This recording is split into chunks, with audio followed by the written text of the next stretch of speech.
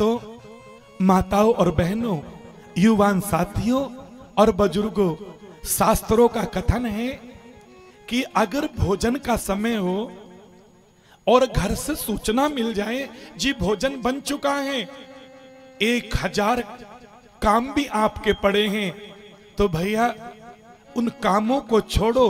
पहले भगवान का दिया प्रसाद, भोजन ग्रहण करो। शास्त्र ऐसे कहते हैं स्नान का समय हो? ओहो, सैकड़ों काम आपके पास हैं, लेकिन स्नान का समय है? तो पहले सो काम छोड़ो, पहले स्नान करो। शास्त्र कहते हैं हाँ स्नान के पाँच, चार टाइम है। मुनि स्नानम देवी स्नानम मानव स्नानम और दानव स्नानम कितने हो गए? चार। मुनि स्नान चार बजे होता है। चार बजे क्यों? उस समय ब्रह्म मुहूर्त होता है। और ब्रह्म मुहूर्त सज्जनों, गर्मी हो, सर्दी हो या बरसात हो, सूर्य देव के उगने से दो घंटा छत्तीस मिनट पहले ब्रह्म मुहूर्त लग जाता है। इसीलिए ब्रह्म मुहूर्त में स्नान करना हो तो चार बजे स्नान करना। नंबर दो, देव स्नानम। हाँ साढ़े चार और पाँच के बीच का जो स्नान है ये देवी स्नान है।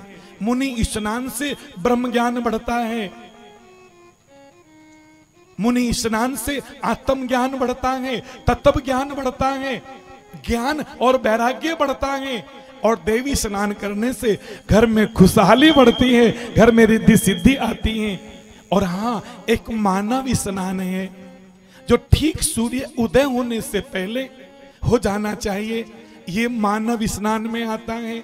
हालाँकि तो बहुत लोग सब मुनि स्नान करते होंगे, सब देवी स्नान करते होंगे।